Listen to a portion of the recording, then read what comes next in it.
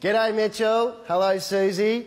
It's an honour to be talking to you from the beautiful Princess Theatre, where we have the chance to continue the most loved Harry Potter story for hundreds of fans and muggles alike from all over Australia.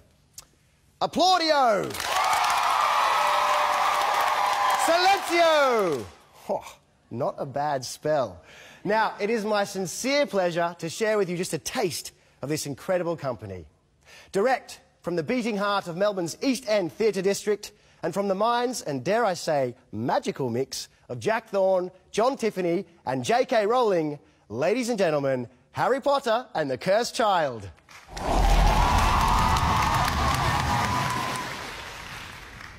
Hello, I'm Scorpius. Scorpius, well, uh, Malfoy. Oh, I'm... Albus Potter, I know. How do you... Would you like some of my Fizzing Whizzbees? Oh, um... I've also got some chocolate choc pepper imps and some jelly slugs. It's Mum's idea. She says, sweets, they always help you make friends.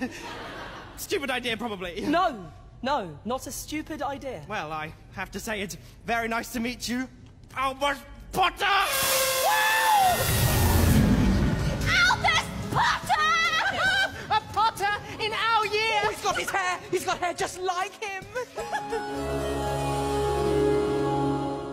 I've done this job for centuries. On every student's head I've sat. Of thoughts, I take inventories, for I'm the famous sorting hat. Scorpius Malfoy.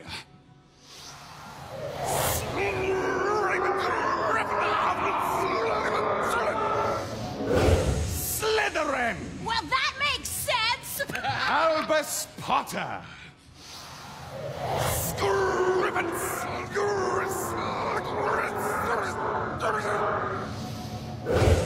Slytherin! Slytherin? Whoa, a Potter in Slytherin? you can stand next to me! yeah? Right, yes. I am just asking you, Dad, if you'll... if you'll stand a little away from me. It's just people looking. Okay, people look, and they're looking at me, not you. At Harry Potter and his Slytherin son. Here is your permission form for Hogsmeade. I hate Hogsmeade. How can you hate a place you haven't actually visited yet? Because I know it'll be full of Hogwarts students.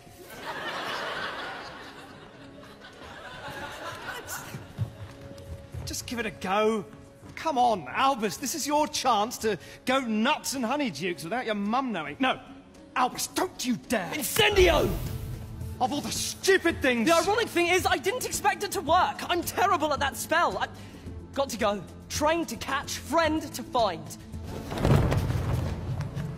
And now we add... Is it Horn of Bicorn? He's really not like Harry Potter at all, is he? With just a little salamander blood. Okay, what's the counter ingredient? What do we need to change? Everything.